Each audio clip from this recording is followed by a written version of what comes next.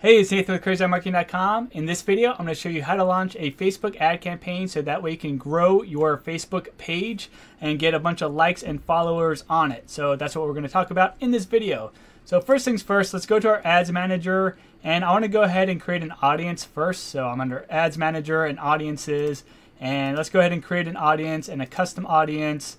And for my sources, I want to do Facebook page here. And next, and then I want to go ahead and select my page that I'm trying to grow, so my SEM training page.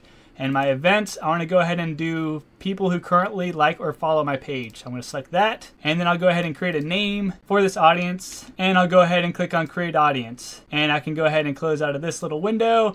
Now I know that that was really quick and if you have questions about custom audiences, I have a video all about it, link in the description down below. But the main thing is you want to make sure that you have an audience of people that already like your Facebook page because we're going to wind up excluding that audience from our ad so that way we're not advertising to people who already like our page. So let's come over to our ads campaign area now and we'll just create a brand new campaign and in this case, we're going to go ahead and select engagement as our campaign objective and continue. And I'm going to go with the manual setup right here and continue. And I'm going to leave all these options as the default. Again, I have videos on all this type of stuff. So if you need more information on campaigns or ad sets or ads, links in the description down below. I'm just going to get to the core content in this particular video. So if you didn't notice, I clicked on the ad set level now and we want to go ahead and change our conversion location. So we can change it to Facebook page right here. So get people to engage with your Facebook page. And then for our performance goal, it automatically select maximize number of page likes. So that's what we're going for.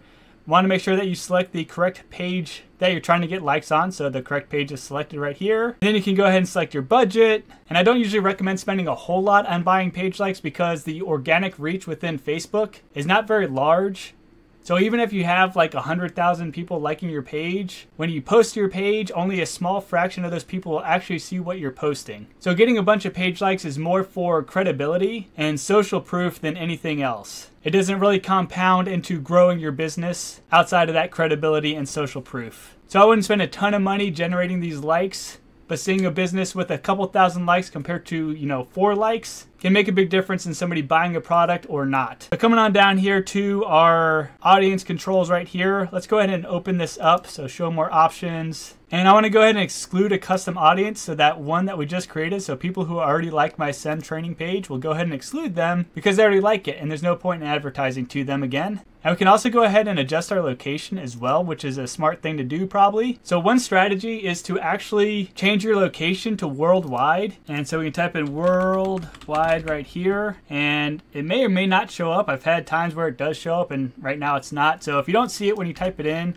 you can just go to browse over here on the right hand side and where it says countries you can click select all and then it'll automatically you know select worldwide. So the strategy here is that you're going to be advertising to the whole world so you might be getting a bunch of clicks from India or Pakistan or something like that. However they're super cheap clicks and therefore super cheap page likes so that way you can start getting some likes on your page and start getting some growth so you have some social proof. So you can basically seed your Facebook page with a few hundred or a few thousand cheap likes. And then once you have that base of social proof, you can go ahead and advertise to where your customers actually are. So that's just one strategy for quickly growing your page and getting a whole bunch of cheap likes. It's to advertise to the whole world. And then of course you can go ahead and adjust your age range, and you could come down here and switch your audience if you want to. So you could go ahead and identify people with different demographics or interests or behaviors, but I don't recommend getting too narrow or specific here. Instead, let Facebook's algorithm do the heavy lifting. And a good answer for that is actually to leave it on the Use Advantage Plus audience option right here. So Facebook's algorithm does all the optimization for you. And you can go ahead and make other adjustments if you need to, but let's get over to the ad real quick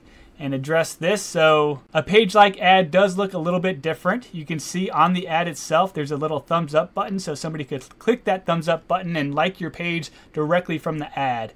Let me go ahead and add some media real quick. So I'll add an image and we'll throw this guy in here with the orange book and you can see now how the ad will look so that thumbs up button right there and it'll show up on the Facebook feed or Facebook marketplace or Facebook video feed and also in the search results right here so we can see how our ad will look and then we can add our primary text as well. So I threw in some copy right there and you could add some other versions of the copy if you want to and then Facebook can test those out and see which one gets you the most likes for the cheapest amount of money. And there's not much else you can really do with this ad, but I still recommend turning on tracking just in case for some reason somebody sees your ad and clicks over to your website. Well, then you're still tracking them with your pixel and everything else. And so that's really it for creating an ad campaign for generating page likes. Again, the point of having a bunch of page likes is more for social proof and credibility and not about growing your page so that way when you post your page, you get a bunch of organic traffic because Facebook's organic traffic is not the best. And so that's it for this video. Hopefully you found it helpful. If you did, I appreciate any sorts of likes, comments, subscribes, and or check out crazyeyemarketing.com. And I hope you have a great rest of the day.